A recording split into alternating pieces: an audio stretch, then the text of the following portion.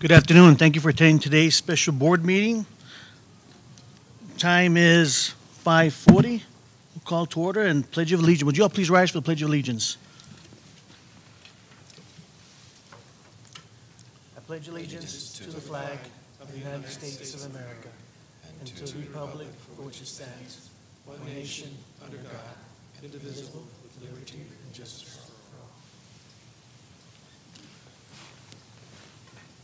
Thank you. We'll move on to new business. 3A, discussion and possible action to select law firm to provide legal services through the RFQ process to include interviews and Q and A by Board of Trustees. Yes, sir. Um, President Guerra, Dr. Reza. Espinosa, members of the board, uh, we're here for your consideration with respect to an RFQ concerning legal services. Currently, our legal services contract is set to expire September 1st. It's the volume I can't hear. Okay. Uh, Can you hear me now, or?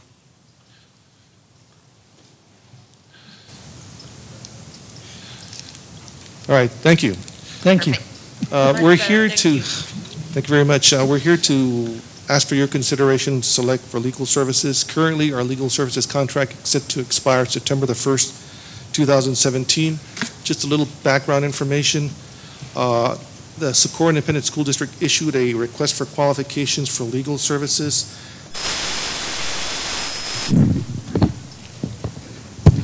That solicitation was posted on July the 19th and the 26th. And at that time, all vendors were notified that based on the initial rankings, the district would select the top-ranked qualifi- qualifiers and ask that they conduct board presentations between the, the week of August the 7th through the 9th.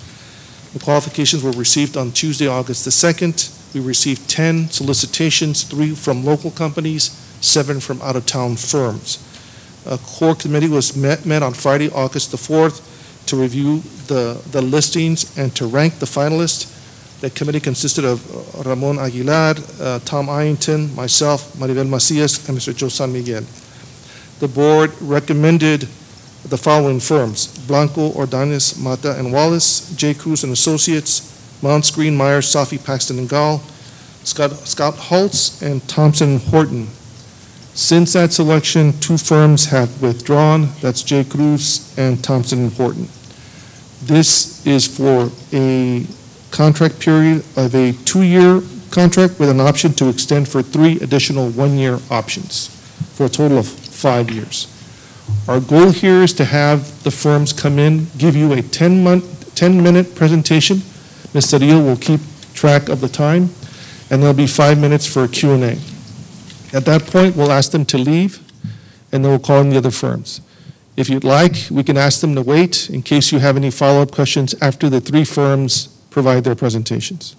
Or we can let them take off. It's up to you. We're following last time, the procedures we did last time, which was discussion is an open forum. Um, Any discussions among yourselves, just keep that in mind, and we'll go from there. Are there any questions with respect to the process that we're going to have here? Mr. Reza, you said two years and And then three additional one-year options for a total of five years. are the three additional years done right away? Is it one year? It, it, it's one year right after the other. Uh, unless there's a request or consideration from the board as a whole, usually administration automatically renews the contract. Mr. Gonzalez? When would they be informed as to who won the contract? We ask them, we, we give them within a week's period of time, because you'll make a recommendation, and at that point, we'll notify the top qualifier, and then we'll negotiate a contract with them, and then from there, uh, if everything's set, then we'll, we'll let everybody know. But we, we're telling them that within a week's time, we'll notify them. Our, our goal is to notify them as quickly as possible, and then make sure that the contract is, is established and, and approved. Okay? So, uh, without any further ado, we'll go ahead First, it'll be Blanco and Ordonez Mata. Number two will be Mounce Green Myers, and then it'll be Scott Hulse. Okay? So we'll start, we'll bring him in, and again, 10 minutes, and then five minutes Q and A. Thank you.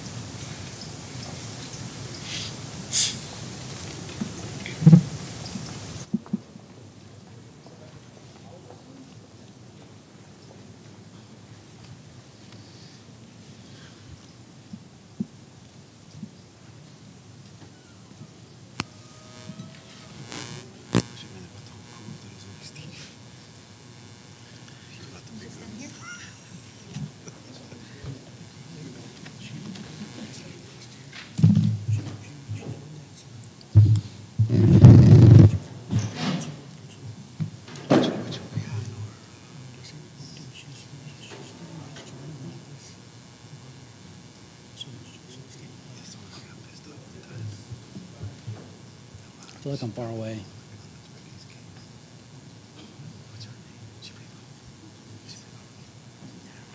Do you want me to go ahead and start? Okay, thank you. Um, Thank you, Board President Guerra, Dr. Espinosa, members of the board. I see we have a few missing. Um, That's okay. Uh, We want to start out first by saying thank you, obviously, for the opportunity that we've had the last, it's almost four years now, representing Socorro. Um, Time certainly flies. I think things have gone very, very well. Um, I will say that uh, I was kind of anxious to get out here. I actually got a speeding ticket coming down East Lake, so if you're going home, be careful, there's a sheriff out there. You must have something in common with Ms. Nahara.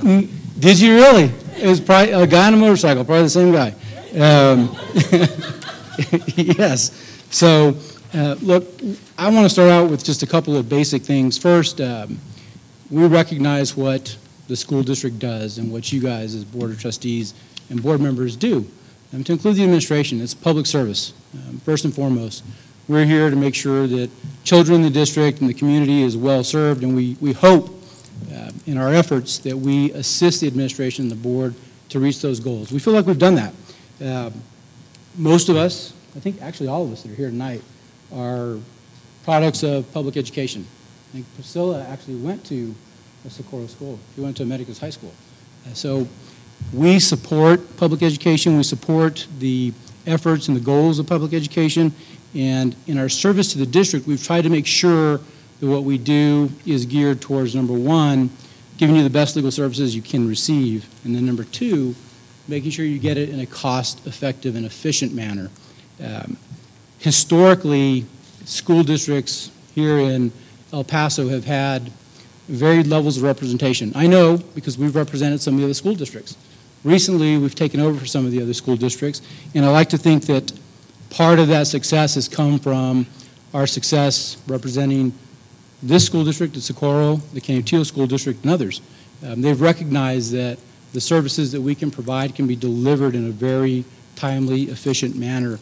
Historically, I did this presentation in 2013, the end of 2013, when we first took over. This school district has a history, and I think it's uh, credit to the administration, past and current, of making sure that lawyers are used appropriately. I don't think that's true in all school districts. In fact, I know for a fact it's not because some of the work we've taken over from other firms, um, we've really scaled back what lawyer involvement is required and what is asked of us. If you look historically at your billings here in Socorro, you're about a third of what they are in your neighboring districts of El Paso and Ysleta, districts that are of a similar size. Um, I had handed this out the last time, and I'm just going to go over it briefly. So El Paso averages about $900,000 annually in legal fees. That's come down because now they have an in-house counsel with Sezzy Collins over there. Um, Ysleta averages roughly $800,000 a year in legal fees. Um, Socorro has a historical average of about $238,000, $240,000 in legal fees. Um, Since we took over in 2014, that's actually stayed the same uh, and gone down. In 2015, it dropped to 213,000. In 16, it was 185,000. This year, we're on pace to be at the same level, right between 180 and 190,000 in legal fees.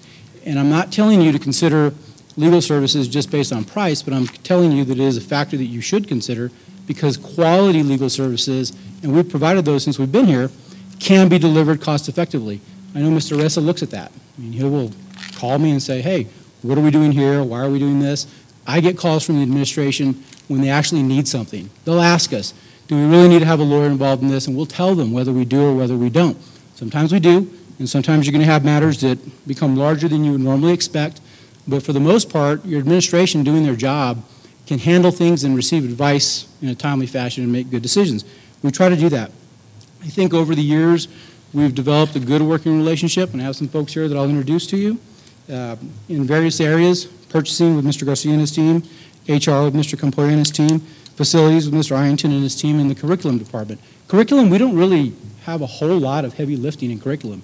Your curriculum runs very, very well here. Um, These other areas, from time to time, we have large projects. And so we have a staff. I only brought a few of the lawyers. A couple of our lawyers are off at other meetings and events that they needed to attend. Um, But here, tonight, I want to introduce them to you. Um, These are people that are currently engaged in some pretty heavy lifting for the district. Um, Rudy Mata and Ana Escobedo. They work in our real estate and business department. Um, We've been handling, well, they've been handling, um, contracts for construction. We're right in the middle of the negotiations over the new school site. It's um, with Doug Schwartz and it's Ranchos Real number 10, I believe. Mr. Ianton is very involved in that process, and we're trying to work through that.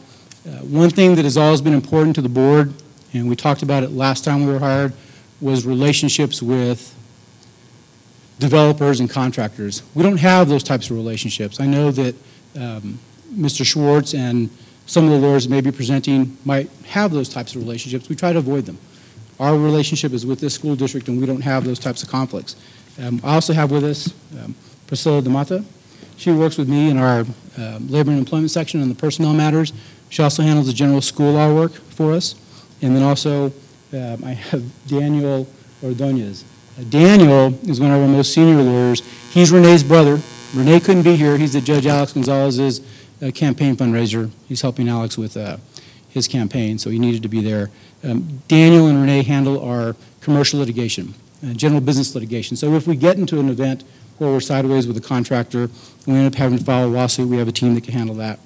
Um, What I want to say is that our goal, obviously, is make sure that we listen to the board's plans and needs, make sure that we work well with your administration, hear what the administration wants. It's not our, our goal to be here to say no.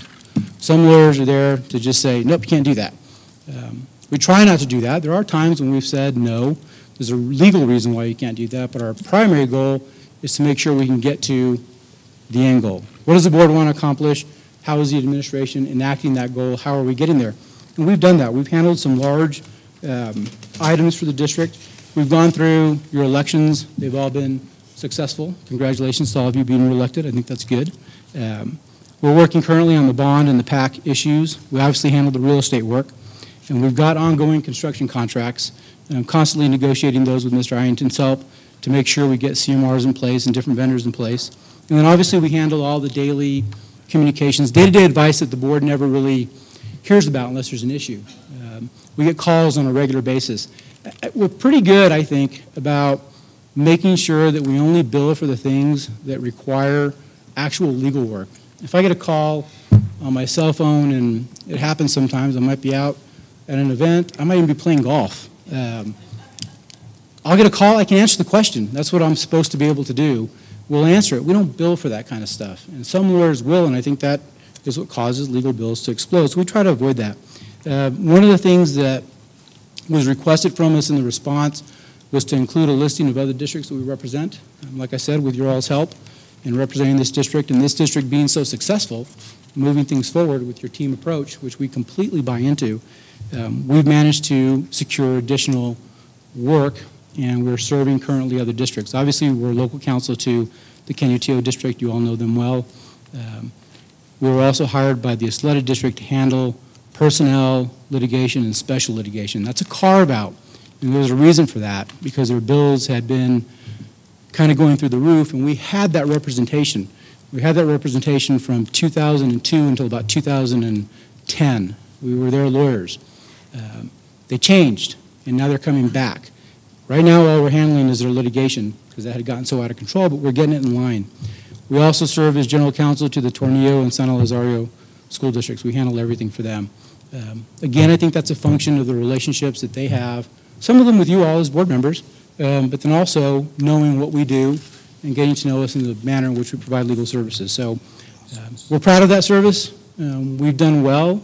Uh, We thank you all for the opportunity. I don't know if you all have questions, um, but we're happy to answer them. Mr. Blunt, I have a couple of questions. Has, has your, your rate, has that changed? No, sir. In fact, uh, in our response, one of the things that Mr. Garcia's group asked for was a commitment on rates, and we've included in our response that we are committed to keeping the exact same rate structure that we have now with the board. Now, The top rate in that structure is for shareholders at 175 an hour. Um, Associates are billed at 125 an hour, and legal assistants are billed at $75 an hour. That's a reduction significantly from our standard rates, which range from, um, on the high end, $300 an hour to a lower end of about 150 an hour.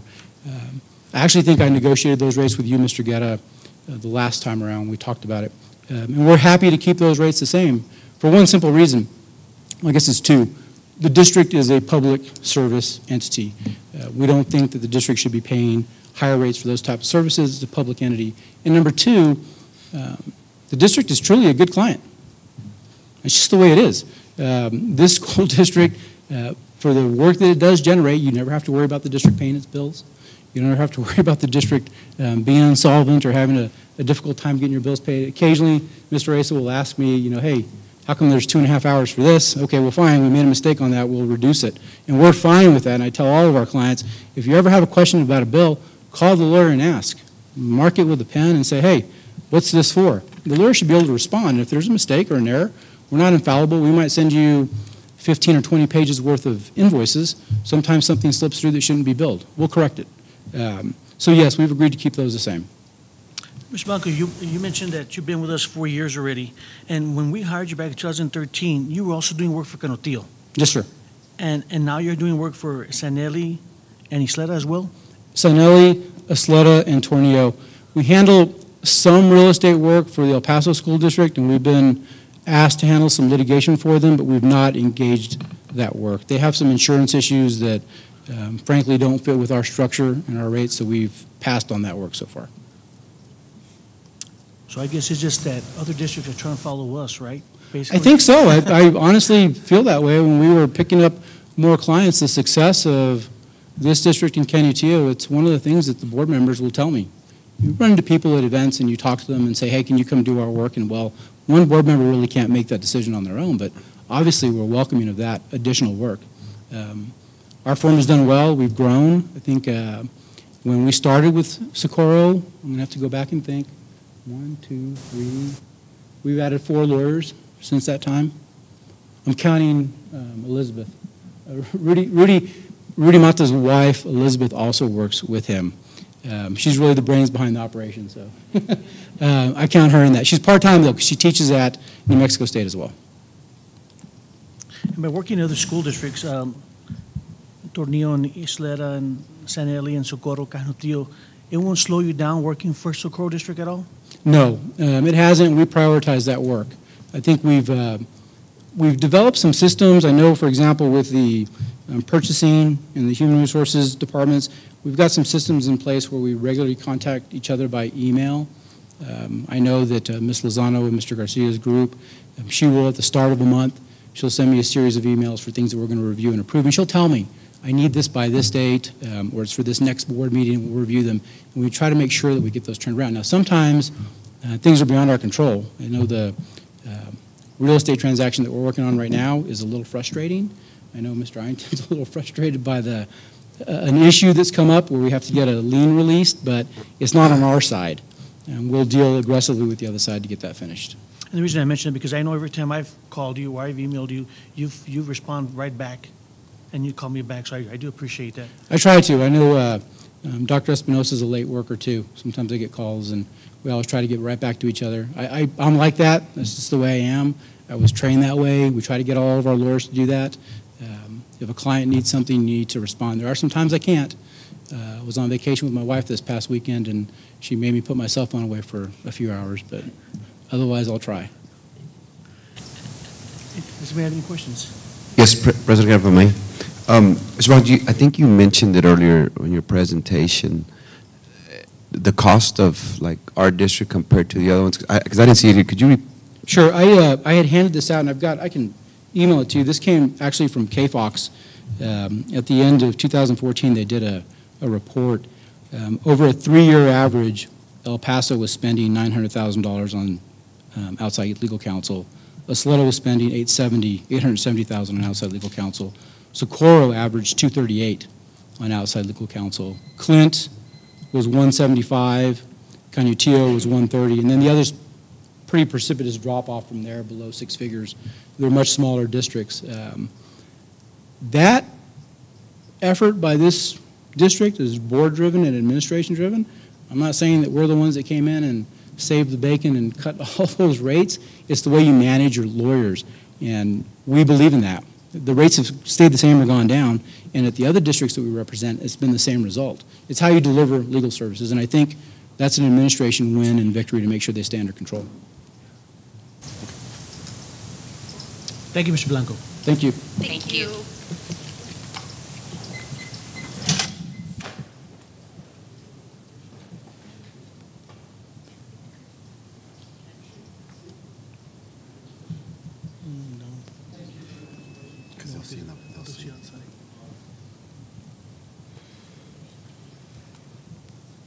You can shake hands with him, tell him thank you.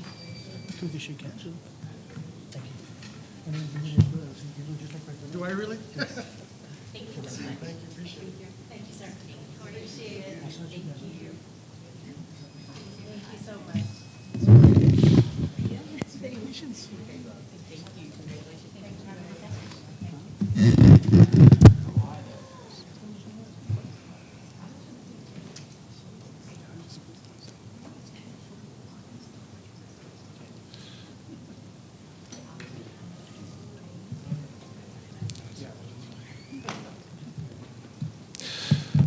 So uh, the next firm that we're bringing in is uh, Mounce Green, Myers, Safi, Paxton, and Gall.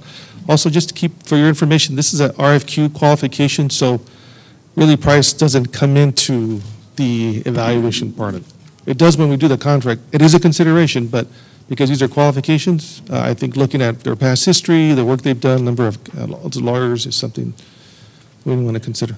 So uh, Mounce Green is the the next company that we're bringing in, okay?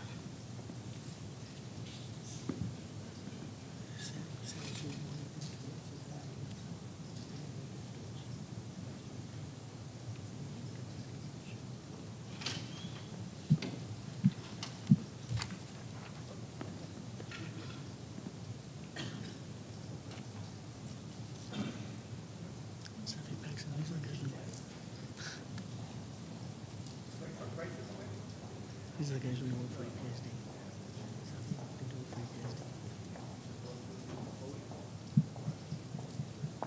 Which letter? Which letter? Which letter?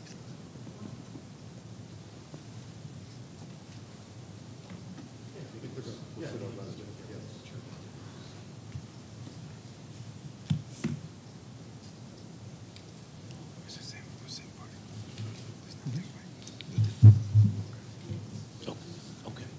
You, sir. Okay. Okay, very good. Okay. Welcome. Good evening. How are you all this evening? Great.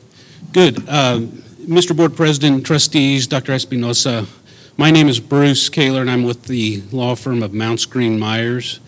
And we are one of El Paso's oldest law firms. And I want to talk a little bit about a couple of items. Monica Pettis, who works closely with me, is going to also speak, and so I'm going to leave a few minutes for her towards the end. And I also want to introduce a couple of my partners as well. John Birkelbach. Uh, Mr. Birkelbach is uh, in the real estate and transactional practice. Clyde Pine, he's involved with commercial litigation, real estate, and, and business transactions. And then Monica Pettis, she works with me in labor and employment law, general school law issues. She handles a, a lot of Public Information Act requests, and she also handles some personal injury trial work as well. And so I'm very pleased to have them here today. You know, there's a lot we can talk about, but I, I really want to talk about two things, and then Monica's going to close out with me.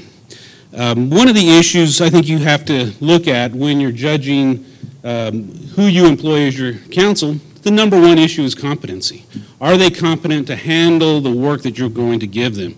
And I would submit that uh, my law firm, Mounce Green Myers, is highly competent in the area of school law.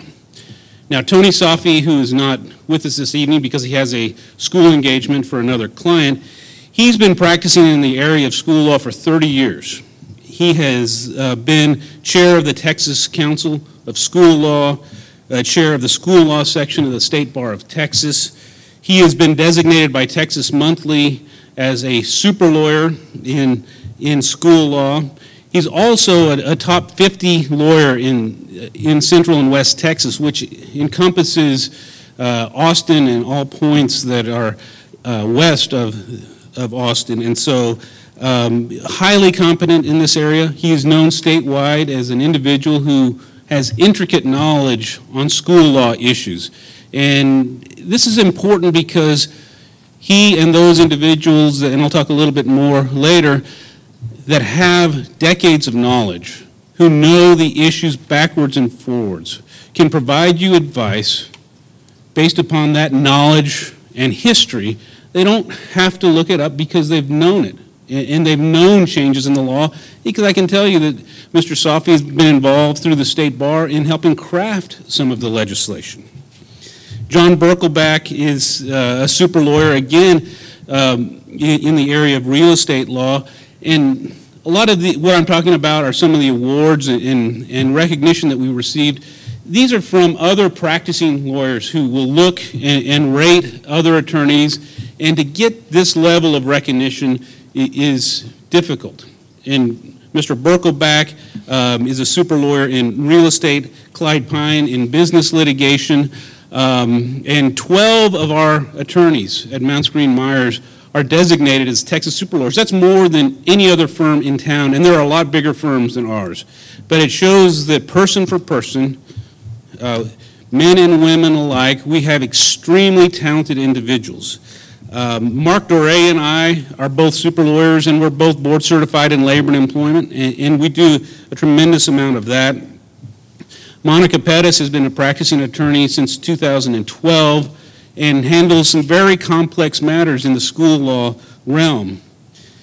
And another indicator of our competence, you know, U.S. News and World Report, along with Best Lawyers, which is one of the preeminent rating services, there are a total of five Tier 1 education law law firms in the state of Texas. One of those is in El Paso, and that's Mounce Green Myers. And that is the type of recognition that shows a history of excellence, a history of providing clients with highly competent work. And to receive the types of ratings that we have are significant. And another issue uh, that does come up, which I do think is important, is when lawyers are called upon in those difficult situations by a client. When a client calls up, when it is something out of the ordinary. Um, and I know for one of the school districts, when there were issues with regard to allegations of impropriety with regard to federal uh, issues, a number of upper level administrators were implicated, upper level campus administrators um, as well. And Monica and I handled for this district a large number of very complex issues with regard to administrators who potentially violated numerous state and federal statutes. And these were individuals who were well educated, had attorneys, and, and fought tooth and nail. And I can say that through all of those TEA proceedings that Monica and I took part in, we were successful across the board. And when the city of Socorro had issues with regard to its police department, we were called upon to assist in termination proceedings regarding a large number of city of Socorro police officers. And we had civil service commission hearings on numerous police officers, Ms. Pettis and I did, and we were successful in every civil service commission hearing we had. Um, and I know that Clyde and Mr. Birkelbach are called upon on condemnation issues uh, for governmental entities when it absolutely have to condemn property as soon as humanly possible for a project that has to go forward. And Clyde and John both handle very complex bidding issues, issues um, with regard to such things as E-rate, complex school law issues that most attorneys are not going to be familiar with.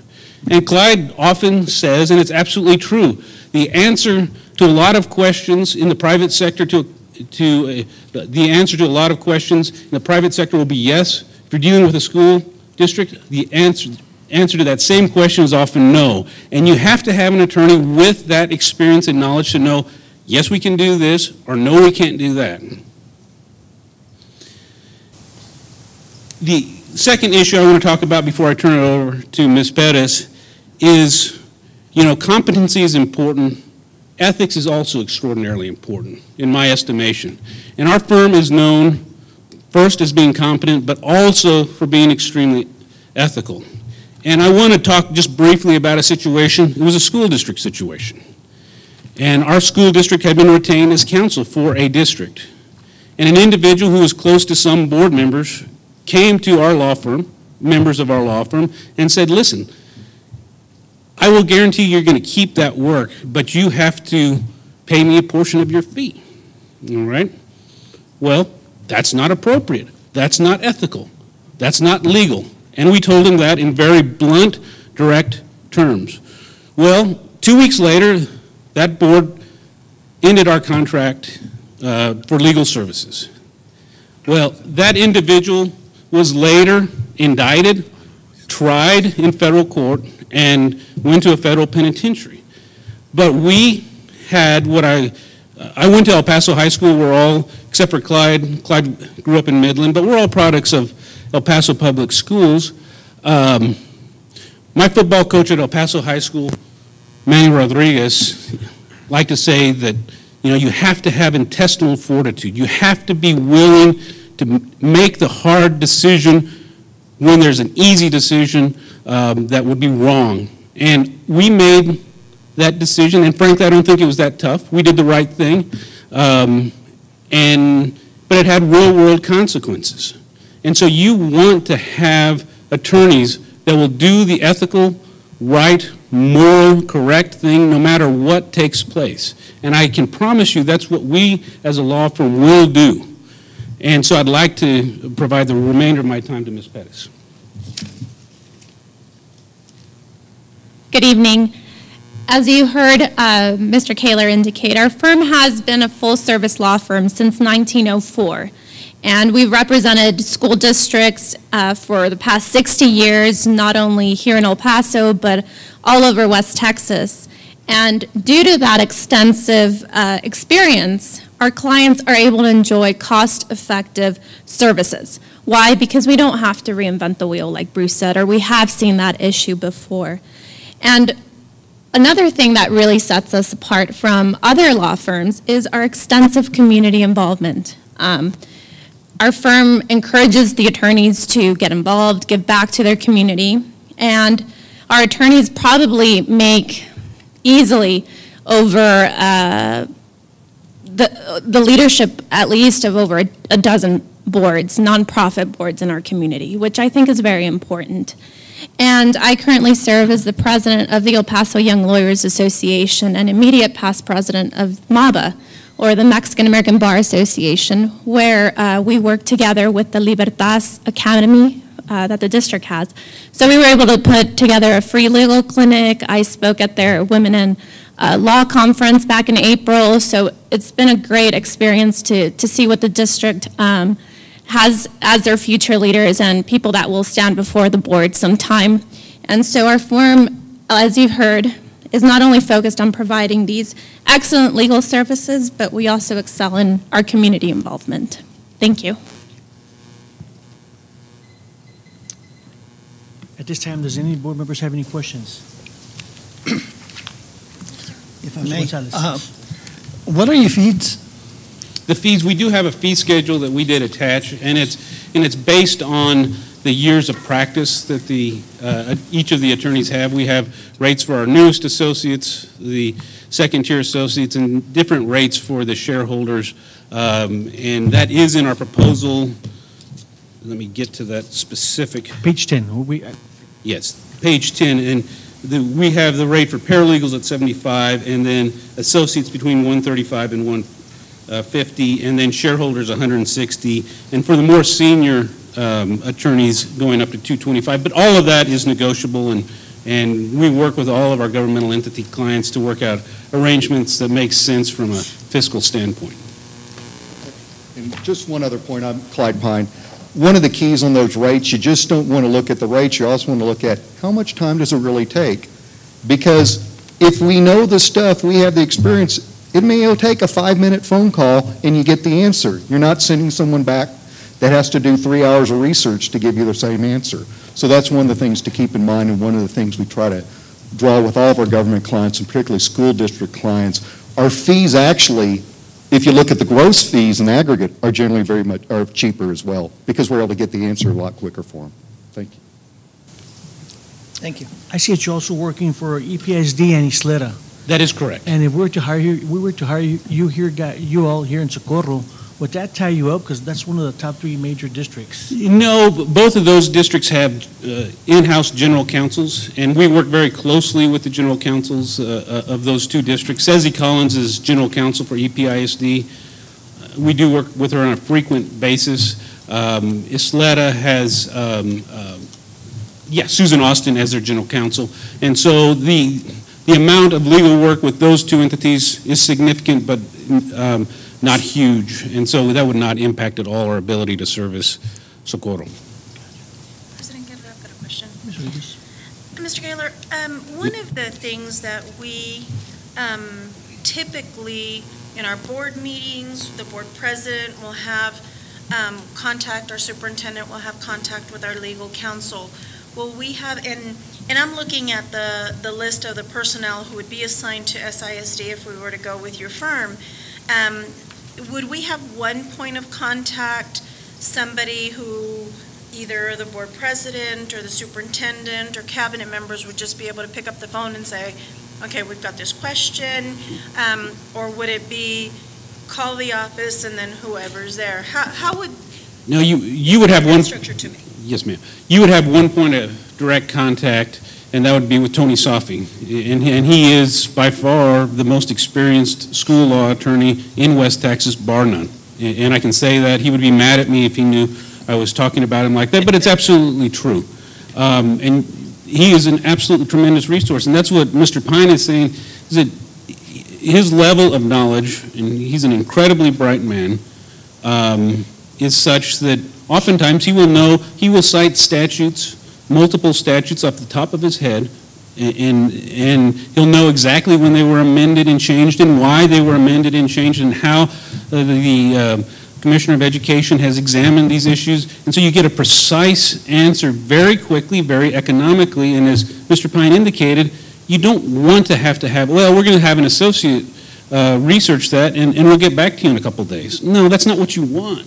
And, and so, but there are, you know, I do a lot of human resources type work, and so it's not unusual for the associate superintendent for human resources at whichever district to just call me directly. Um, and so, but as a general rule, as far as the board president, superintendent, that would generally go to Mr. Safi, unless for some reason he's not available, but he typically is. He's extremely accessible, and, and we would make sure that you would always have a specific point of contact, and, and he would be it. But if he's out of town, he lets everyone know, I'm going to be out of town. I can still be reached here, but Mr. Koehler, Mr. Pine, Ms. Perez are all available. And so we take care of our clients. We've had a lot of very long-term clients, and it's because we provide good advice, but we're very economical. We, we represent a lot of governmental entities because we do provide um, good, prompt, appropriate legal advice at, at an appropriate um, monetary fee. And so, um, and, and that's would be our uh, position and our promise to Socorro is to, that's how we handle business. That's how we will continue to handle business.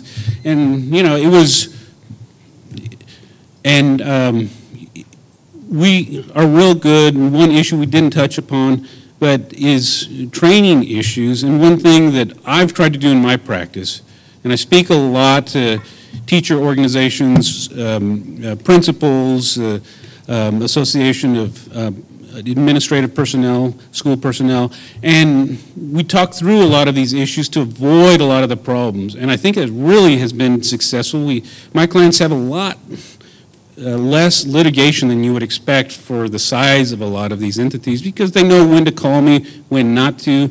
We, there are a lot of things that we can do, and if I have just one second, uh, an individual I know who files a lot of lawsuits, there was a situation for another district, we were able to, in an informal conference, resolve it all, and he was like, you know, we are almost always able to work this stuff out so that we don't have lawsuits and litigation. And he was, I thank you for being that way, but it helps your client out. And that's always been my attitude. If we can solve an employee problem and make that employee happy and avoid litigation, well, we've done our job. And so that's the attitude we have. We want to avoid as many problems as humanly possible.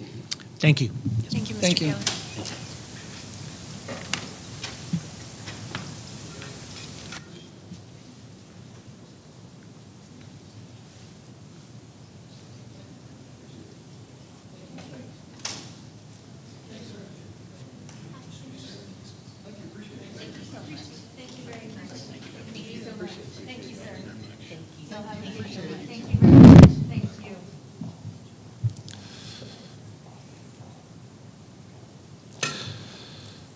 So the, the next firm we have now will be Scott Hulse. And again, it'll be 10 minutes Q and um, and then presentation and five minutes Q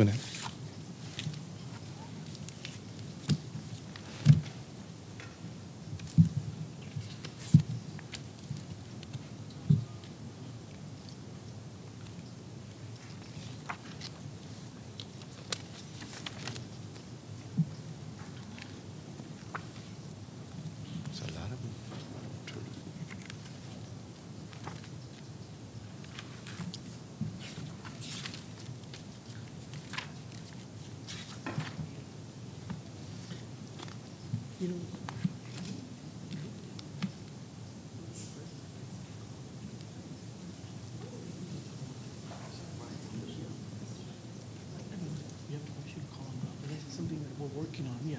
I don't want you to think that you go, yeah. But I don't understand why, because it's on.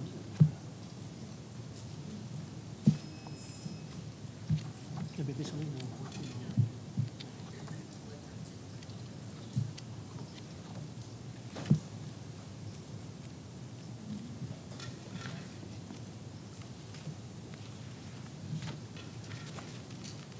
Go to, go to tab, uh, Hector, tab four. Different stories. Up here in front. Thank you so much.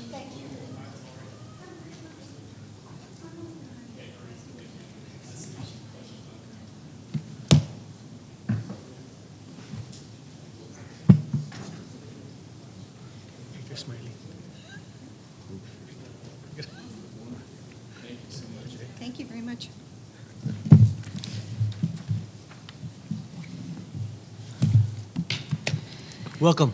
Thank you very much. Good evening. Good evening. Uh, Honorable Board of Trustees, um, Dr. Espinosa, my name is Rosemary Marin. I am a, um, a member of the Scott Hulse Board of Directors. I'm also Chair of the Labor and Employment and Education Sections. And on behalf of the firm, I want to thank you very much for inviting us to be here today. With me today is my colleague Blake Colley, Big Downey, and Liz Guinan, who is our marketing coordinator. At my firm is a list of 30 lawyers who are available to assist in whatever cap- capacity the district needs. We have some packets for you to look at today, and I want to tell you um, up front that the wrong version arrived to you guys. There should be 10 pages, and you received much more than that. If you want us to take out the rest of it, we're happy to do so. We realized it once we got here, but after you had them in your hand. And so if you want us to, to remove the extraneous information, we're happy to do that. Um, What I will do is walk you through, because regardless of how many pages of those tabs you look at, we have it divided into four tabs. The first tab is the qualification statement. And what I'll tell you about that is that our firm has extensive experience in representing large school districts. We've been very successful in trial and on appellate um, work, and as well as in administrative uh, proceedings. We do everything from personal injury to construction and contract disputes. We do litigation, labor and employment, administrative hearings.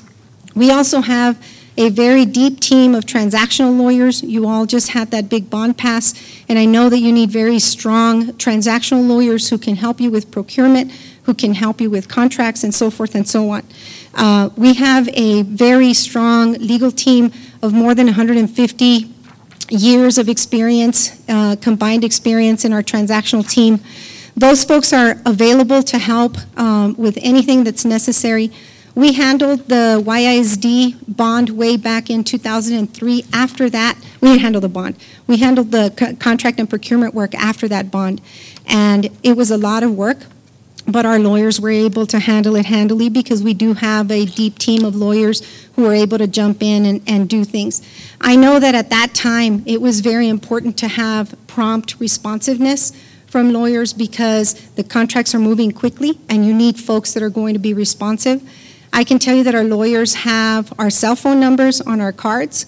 We're available to our clients uh, 24/7. We know that business hours aren't always as convenient uh, to contact your lawyers, and we're available at any time.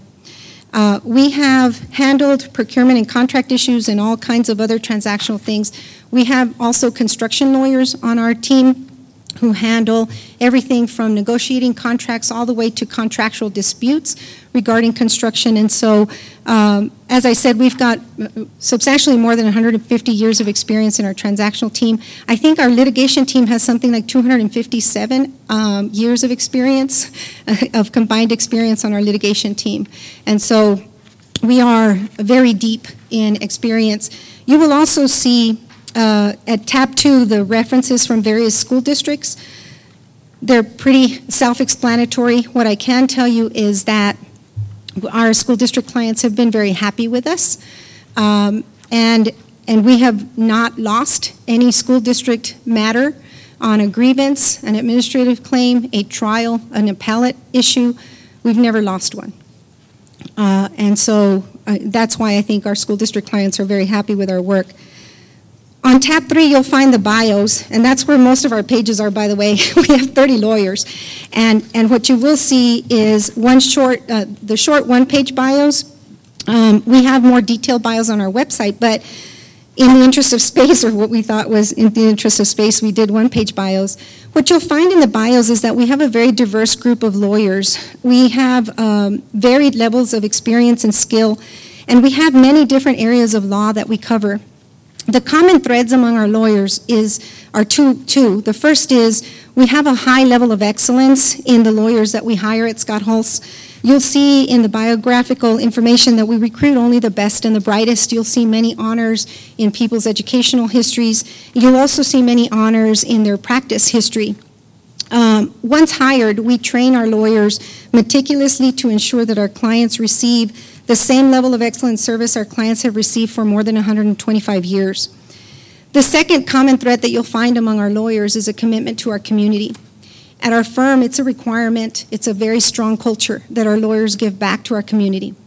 And what that means is that we expect our lawyers to volunteer on, in community and faith-based and every other kind of group that's going to give back to our community. We believe very strongly in um, the, the gratitude that we should all have for having served this community for more than 125 years. We haven't done it without the commitment and the, the reciprocation from the business community, and we're very grateful for that. Part of that, and that leads me to the fourth uh, tab in your, in your binder, is our fee structure. Part of our commitment to the community is that we discount our rates substantially for uh, school district clients, nonprofits, and other tax exempt organizations. And we do that because we believe that organizations like yours deserve to have the best legal services available, but you have the challenge of being able sometimes to pay the rates that private entity clients can pay. And as a result of that, we've made a decision as a firm a long time ago that our public entity clients would receive substantially lower rates. Um, and so we know that there are other firms in the state that charge a lot more, and we know too that there may be some firms in, in town that charge less. Uh, what I will tell you is that we think it's necessary for you to have great lawyers. You are a very thriving district. You're a district that is doing wonderful things in this community, that has made tremendous strides and is growing at such fast pace that you need the best there is. And we believe firmly that we are who, those lawyers. But we also think that we should, you should hire whoever it is at reasonable rates, and we think that we've given you those reasonable rates for, especially because we know how discounted they are. What I'm going to ask you is not to let the rates be an obstacle, however. If you find that somebody else charges less than we do, and you think that, that we should charge you less and that's a fair amount, then we'll talk to you about it. Don't let our rates be an obstacle. I say that to every client that, that I engage. I've had a lot of the same clients since the beginning of my, my tenure as a lawyer 25 years ago. And the reason for that, I think, and, and, and the reason that my firm has been around for so long, is we share the common value of honest, ethical, excellent legal service. We do that from everything from the beginning, the first encounter with our clients, all the way through the end when the, when the case is, is dismissed or the case is concluded, and all the way in between in our billing. We have very high ethical standards with regard to our billing services. We have a professional responsibility committee that meets every Monday, and that committee um, it, it looks at any kind of conflicts of interest, any ethical issues that may be uh, that may be confronting the firm because of some representation, and they also help us set our rates. And as a result of that, we know we're, we're very cognizant of what the rates are that are out there. We're very cognizant of the kinds of the kinds of things that you can pay, the kind of rates that you can pay from out of town, and we know that you can get our work cheaper, but you're not going to get it better.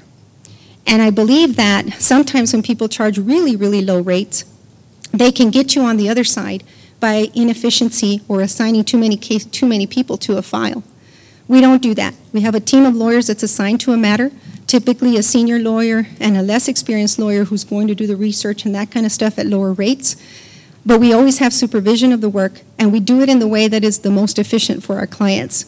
By doing so, we're able to save you money in the long run, and you're also able to ensure that you always have a senior lawyer uh, overseeing your work and involved in your work.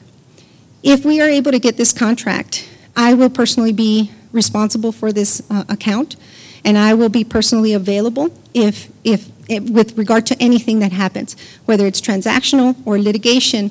It's really important for the lawyers to collaborate to ensure that we're not duplicating services, but also to ensure that we're covering you in the, in the best way possible.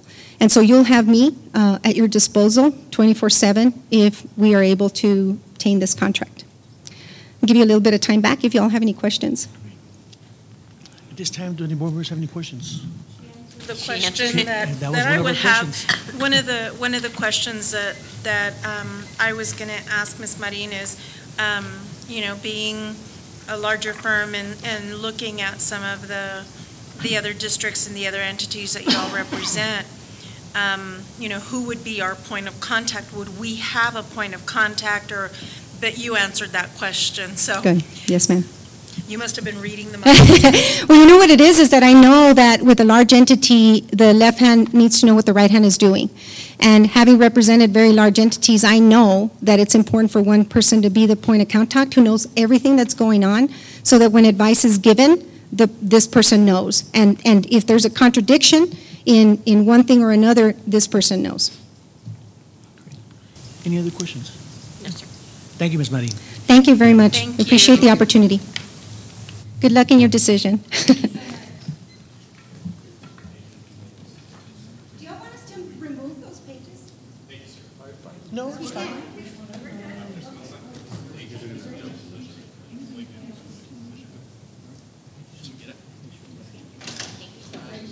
Thank you so much. Thank you, thank you. Thank you so much. Ms. Marin, thank you very much. Nice meeting you. Thank you, y'all have a good night.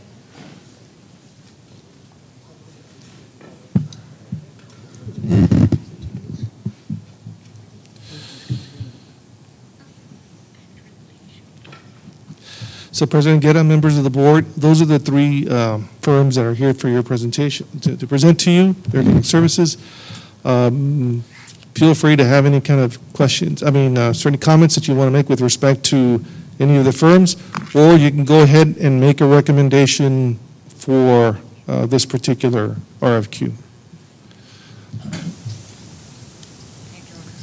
Yeah, Mr. Guerra, um, I, uh, I think that Mr. Blanco represented us well through all these years, uh, so that I recommend he would be. Second. Have- Okay, have a motion by Mr. Gonzalez, second by Ms. Nahara. Any discussion? All those in favor? Aye. Aye. Aye, motion passes.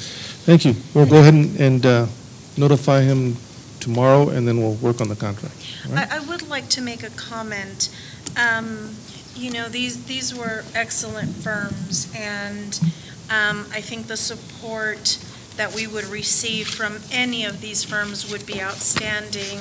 Um, I agree with Mr. Gonzalez. Um, uh, Mr. Blanco has represented us well these past few years. Um, Obviously, in looking at our counterparts, you know, not, not looking at, at fees or anything like that, fee structures, but, um, again, I agree with Mr. Gonzalez. Mr. Blanco has done a, a very good job in representing, um, our, our best interest, the best interest of, of the district. But I think we had some, and, and thank you to the committee that, that kind of looked at, at the, the finalists that were going to present to us. Um, I appreciate the work that you all did. Um, the, these were outstanding candidates. They, they were outstanding law firms. Thank you. Uh, I I totally agree with that statement. You know, had, had it been, I think had it been, we had not been represented by any of them in the past, this would have been a very, I mean, a very difficult decision. True. Very true. Yeah, because they, were- they were all very well qualified. Yeah. Yeah. Exactly. President, get it from me? Um, I agree wholeheartedly with Mr. Gonzalez and Ms. Rodriguez. I mean, three top law firms uh, that we heard. But um, Mr. Blanco, he, he did mention, you know, some of the, the comparisons between neighboring school districts and, and us. So I would like to thank, you know, our, our amazing cabinet and team, Yes. uh, you know, to helping in keeping those costs down through professional development and training of our principals, assistant principals, obviously cabinet members, to stop them at an early point in a certain specific case, handle it and handle it, handle it efficiently and also effectively. So that has continued to keep our, our, our costs down. So uh, great job to all our amazing employees here in SISD. Thank you, sir. Well said. Thank you. Thank you, Mr. Rosa.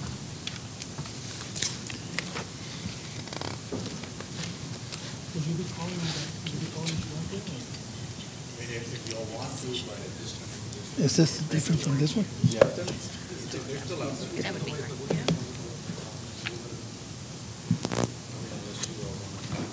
No, I mean, there's no sense in waiting, I mean, we, We're not making a decision. Yeah. there's no qualifiers. is there? Right.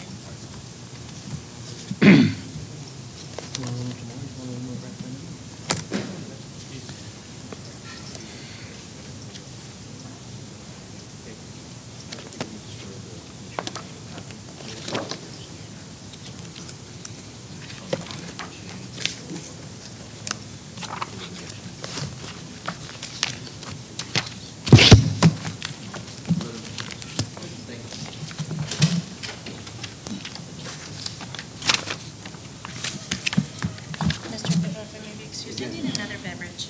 We're going to take a five-minute recess. That's a good idea, thank you. Time is 6:39. 47. We'll, we'll move on to number four, board workshop. Discussion and review of Facilities Advisory Committee findings and recommendations. Mr. Ianton.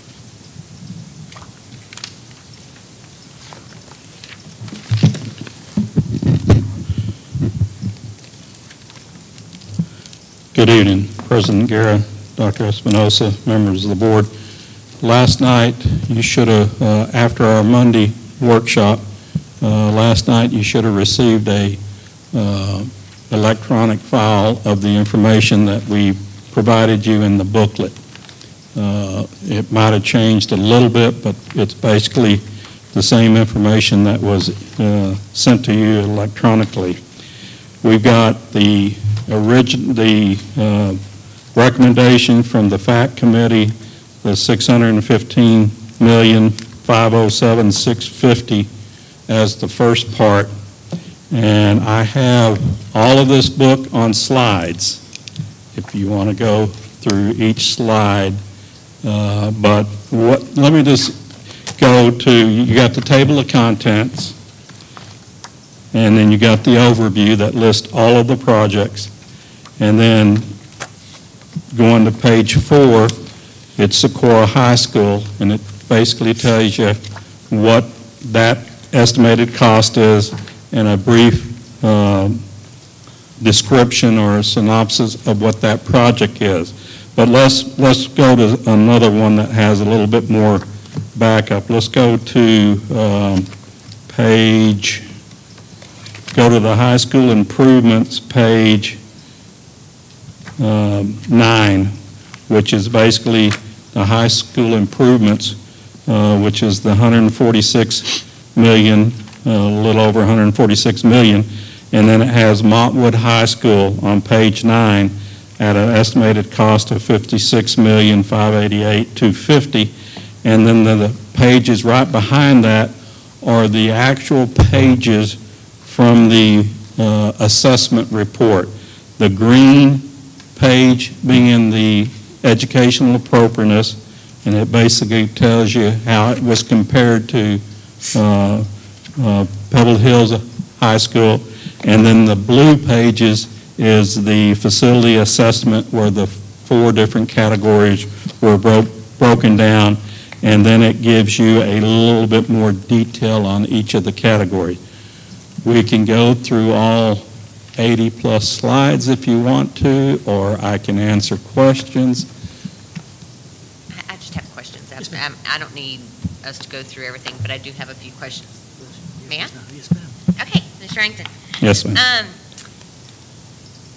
on the support, mm, for the technology, Yes, ma'am. talking about building, a building for technology.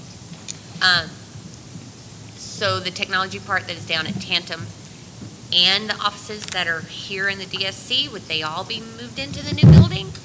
Is that, Yes, it would be, it would be combined. Uh, That area would be combined. They take up some of the second floor, uh, basically over the entrance right now, and the wing down here, Right. along with some of the curriculum. We would, you know, that would get into the actual detail of the built-in. Uh, It's not going to be a, I envision an addition to this building, preferably out front. And, you know, then they would move into portions of that, or they, they could even stay in a, uh, in an area here, but it's going to be adjacent to them.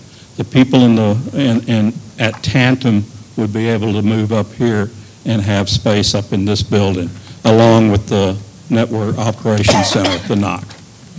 okay, and, and so if they were in the new building, then that would free up, I mean, could like where technology is now, could those be renovated for additional meeting rooms or? Oh, most definitely, because the concept of, on this building, when we did it 10 years ago, was, you know, that's why we have the partitions. Right. And, you know, you have wide open areas.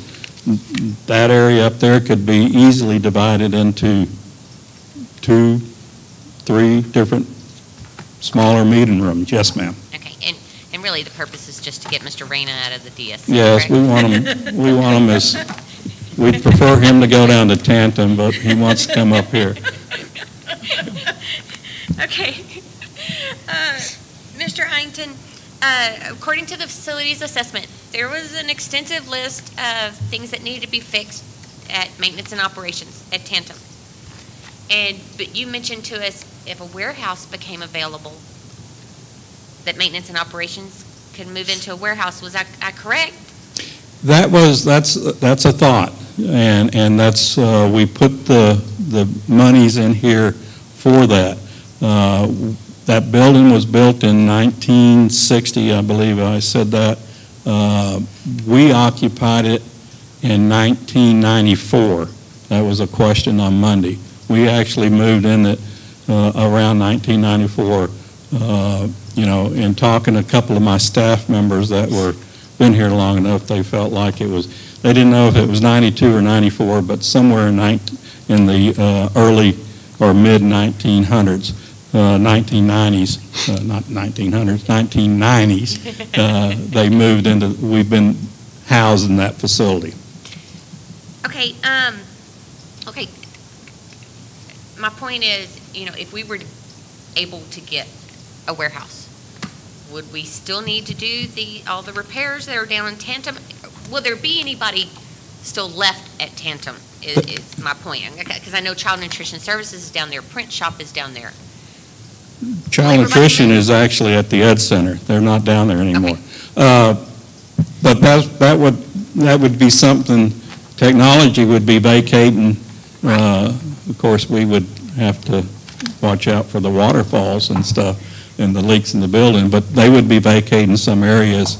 Uh, We would just have to analyze that. Uh, The, as I, as I stated Monday, the more people we could get up here uh, in a more centralized location as far as the maintenance of the district goes. Uh, I believe I had one person tell me uh, that it's, it is a 45 minutes to an hour drive with no traffic from Tanton to Purple Heart. You know, so there is some window, windshield time that we're losing that we could, if we were centered here, it would cut that in half or even less than that, that we could be, uh, you know, uh, working on productive things at the campuses and stuff. So a, if a warehouse came available, we would definitely make that uh, study and then bring it to the board, and then we would determine, you know, what departments or all, if, if we need to keep something down there, what would stay down there. Okay. Um, And Mr. Acton, can you just tell me, uh, from the facilities assessment, uh, it says accessibility upgrades. What does that include? That, that accessibility upgrade is basically uh, how you get into the building, the accessibility. You know, uh, some of them are minimal charges, some of them have to do with uh, maybe a, a, a door mechanism is not working properly. Uh, When I used to do these assessments uh, in my prior life, you know, we documented everything, and, and you'll see that throughout. But uh, when it says accessibility, it has to do with more access to the building, how you can enter it. Uh, We get a lot of requests. Last year, we got a lot of requests because of our special needs population. Uh, Individuals in wheelchairs and stuff cannot pull open a door. We've had that request here at the DSC to make that electronic door out front. We have done that in some of our campuses. So it, it has to do with, with, with that. Okay, just a couple more. Okay? Um, looking at El Dorado, uh, I know when we were there in the past, in their auditorium, they had a lot of problems. You could see through the tiles, and I didn't notice that on the list of things to be fixed. And I didn't know if it had already been addressed or if it's something we could look into fixing. I think I lumped that under the exterior improvements on, and I said roofing upgrades. Okay. So, Okay. uh, yes, we would address that. Okay, perfect. Um, and on the middle school, uh, there were, I believe, at least two that were needing building additions to the library according to TEA guidelines. And, and, I mean, I know whether the board looks at the 615, those would be included, but if we look at the 448, they won't be. And so are we going to be in non-compliance, or they suggestions? Uh, I don't think we would be in non-compliance. I, I think that was discussed at our last facility advisory committee, uh, and I, I kind of mentioned it, and I've been mentioning it uh, because of the um, technology age that we're in. We get a lot of our, our books and, and things electronically on tablets and, and, you know, everything else. Uh, Unfortunately, eh, the TEA, uh, Texas Education Agency, still has the old standard as far as what library design are, are to be designed by. So that's what they were basing it on. Uh, I would think, I don't, uh, I can't read on an iPhone or an iPad. I still get paperback books, and I still have my novels, my Pattersons and everything else. I don't, you know, books are not going to go away, but I think their, their usage is going to be reduced some. Uh, But unfortunately, TEA has not recognized that, but we're, we're kind of putting that in front of them. Okay. Okay. And, and, Mr. Inkton, as we spoke earlier about it, I do want us to look in the future. What I'm speaking about is the facilities assessment, uh, category three, our maintenance and operations on these campuses. It is a significant amount, and I think as a district, we also need to look at providing more for our campuses and our maintenance and operations so that these can be taken care of on a yearly basis instead of needing a bond to fix them. Yes, ma'am.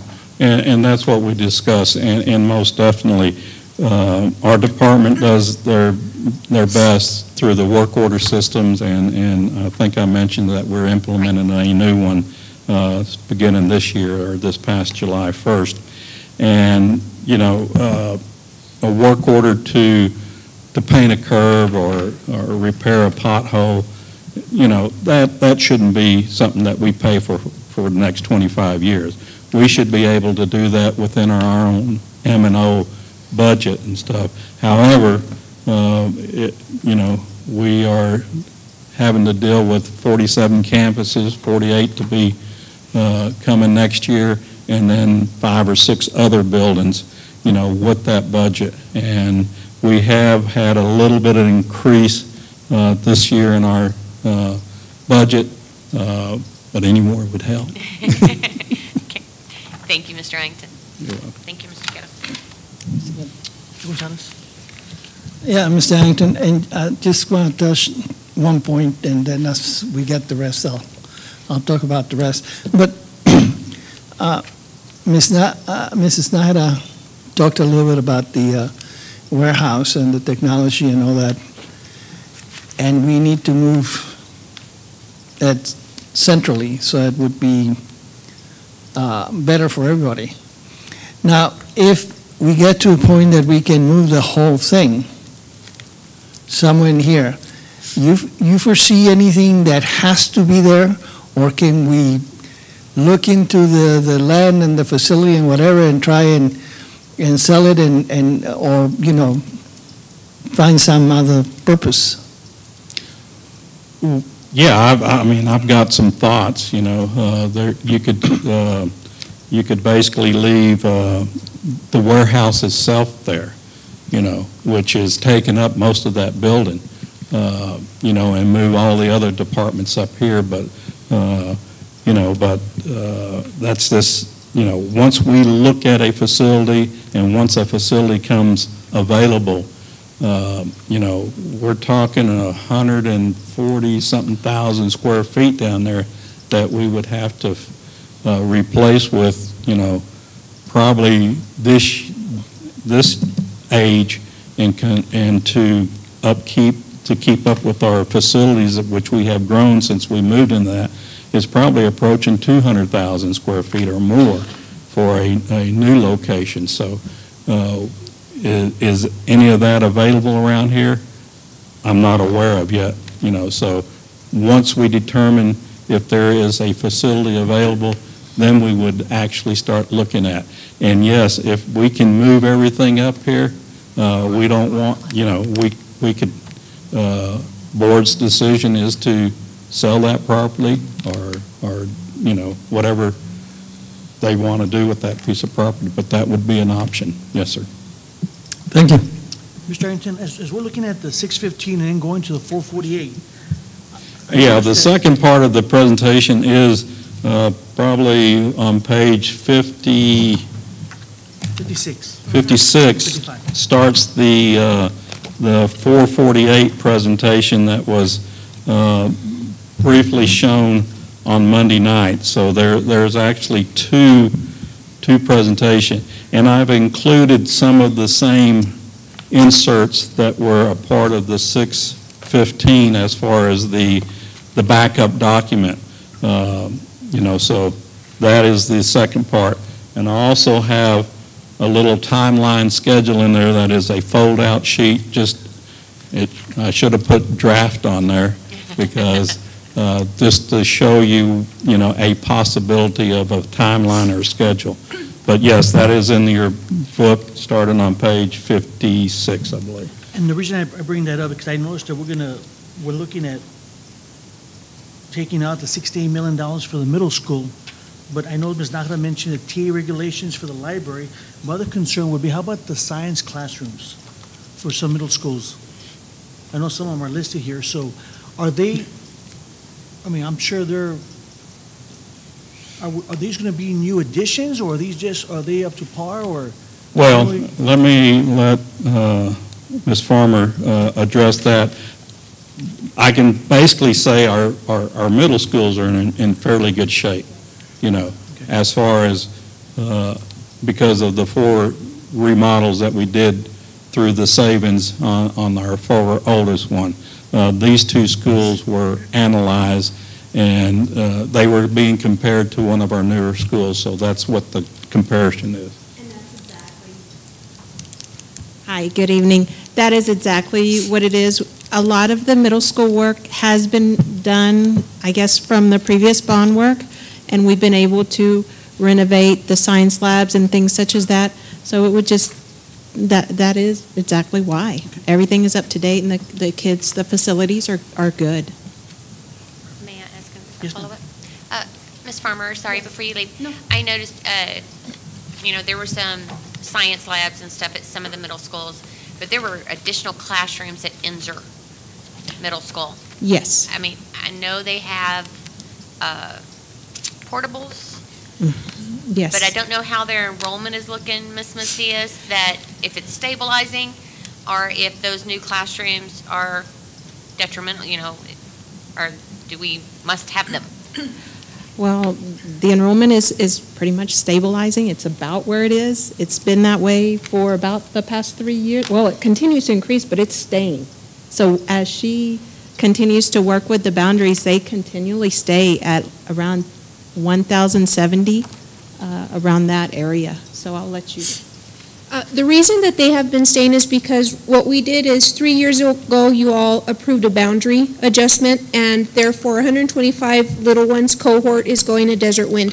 This year is the last 125 cohort going. Every single year, Ensor grew 126. So therefore, the students leaving, they gained plus one. So therefore, they're growing about 9 to 11% depending on the year. Therefore, um, middle school number 10, we need it now. Once we open up middle school number 10, Ensor will be perfectly fine, and then some of those campuses, or some of those um, classrooms, possibility of consolidating if needed. But with that new middle school, it will be good um, um, 2038, based on the calculations. We're going to be good for about 15 years. Okay, so It's middle school 30 that will uh, allow that adjustment, and then with And so that, those depending. New classrooms wouldn't necessarily be needed at Ensor, correct? No, ma'am. Okay. Mhm. Okay. Thank you. Thank you. Would you all like, Mr. Ianton, just to jump into the 448, or continue with what we had with the 615? I- Breakdown. I would, I- I hate to cut anything, but 615, in my opinion, is extreme. And, and so I, I would rather go right now with 448. I mean, we, w- we went over it briefly Monday night. Uh, Unless something's changed to it, I don't need to go over it step by step, but if, if the rest of the board wants to. Mr. Gonzalez? I, I would like to consider the 448, but um, I would also want to, uh, uh, there was a comment made a little bit earlier that we do not need to go to a bond to get fixes and stuff like that for our school, that we should be able to manage all that maintenance and growth through the uh, MMO monies that, that we get.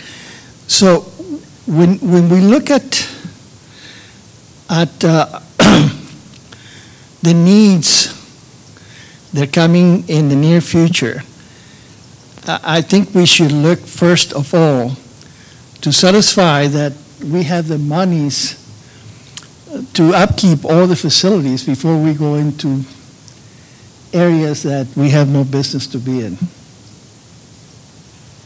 Which areas, Mr. Gonzalez? And I, I, it's not on the, Go ahead, mention, maybe they could, maybe Mr. Reza can, or Mr. Arrington can. So, Mr. and Gonzalez, it, it, it has to do with the uh, clinic. It's nice to have a clinic, but those monies can be used to maintain and upkeep the facilities that we're going to create. Instead of going in, in it, it's a nice thought and, you know, it feels good, but I think that we first need to look at the uh, educational part of the school.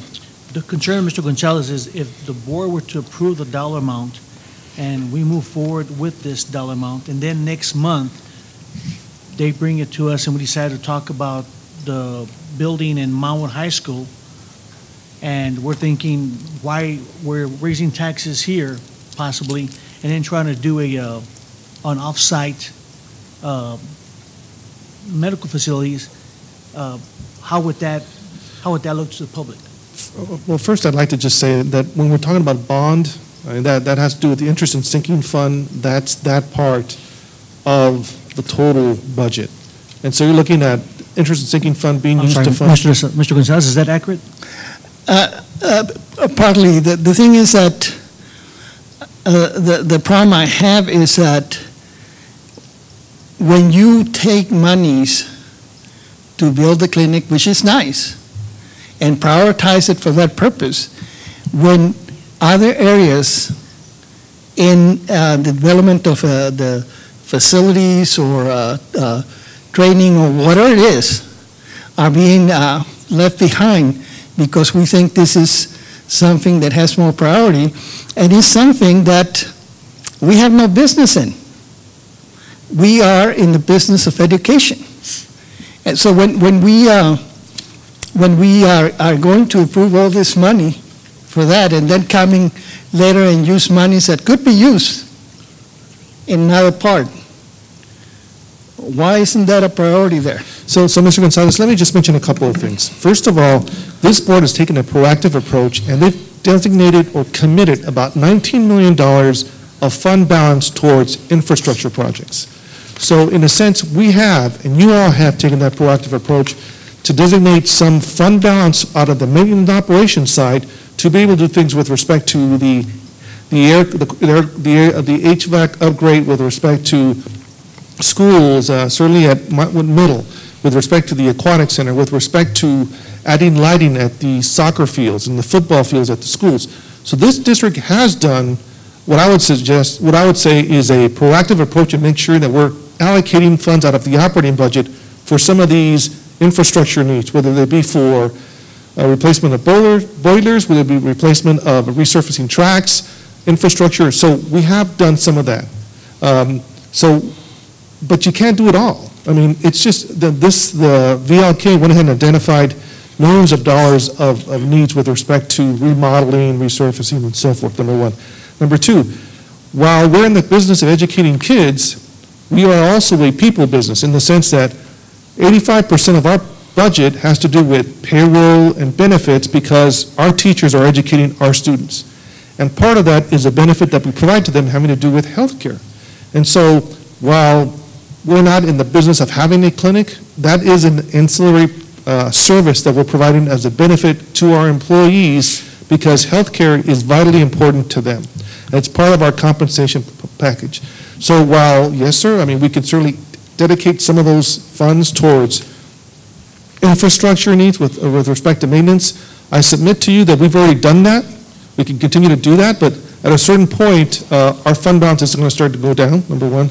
Number two, um, it's part of who we are. It's part of our compensation package with respect to assisting our, our employees, because healthcare is vitally important.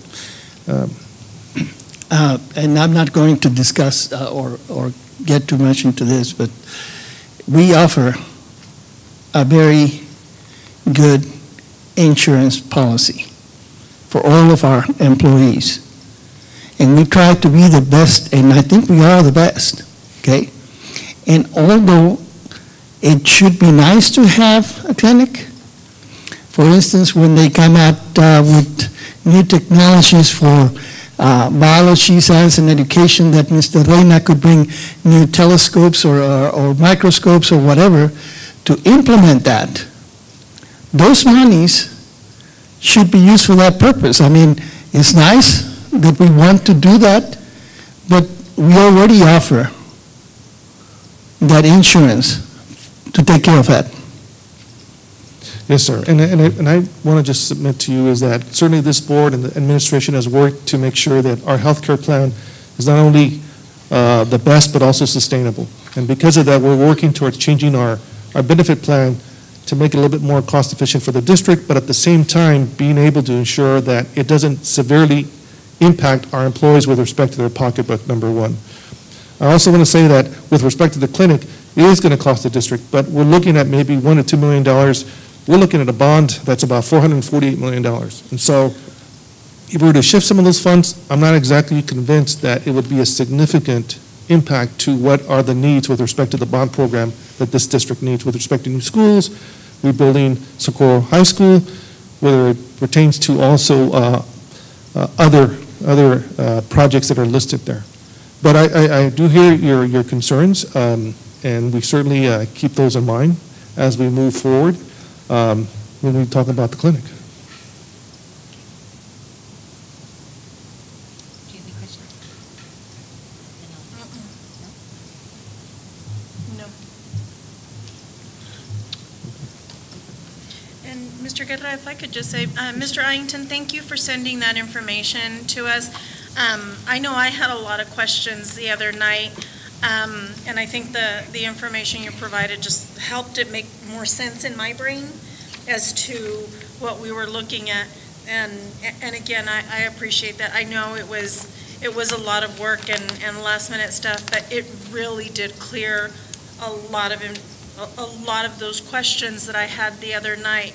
Um, it made so much more sense, because now I was able to see, okay, going from this information here, really being able to look at the breakdown of, of what was needed and, and um, the, the bulleted points were great, but again, it- the, the information you provided just helped it make a lot more sense to me and looking at, okay, why so much and what are we looking at, you know, with, in each of the categories, what that meant and what we were looking at. So, thank you. I, I know it, it took, a it was a lot of work, but I, No. I do appreciate that. Thank you And very Like I much. said, it, it really did just, I was able to Yeah. see it. much And better. by all means, between now and, and Tuesday or, or whenever, uh, please feel free to give me a call if you have any additional questions and stuff. Thank you.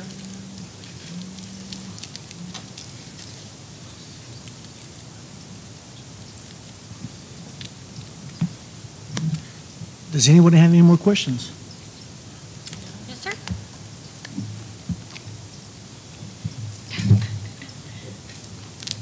He said no. I want to make sure that everybody understands, so if we have the dollar amounts that we're looking at, everybody's comfortable with, with the construction, the support services, what administration is recommending, that we're okay with it, and we have any discussion, we could have another board workshop, possibly on Monday. Mr. Guerra, again, if I may, um, and I know I was, I was one of the ones that was asking a lot of questions on Monday, but again, the information we've been provided, I think, helped answer a lot of, a lot of those questions that I had. So, um, for me, my, for, for me, I don't think we need another, another workshop. Um, I, I think I'm good with the information that was presented. That's, that's just me. And I, I as well. Mr. Ironton did a fantastic job of providing us the information, the breakdowns, expla- explanations, and he answered all my questions. Yeah. Great. Mr. Acton, thank you so much, and there's no further business with this board. The meeting's adjourned at 7:18. Thank you. Thank you. Thank you.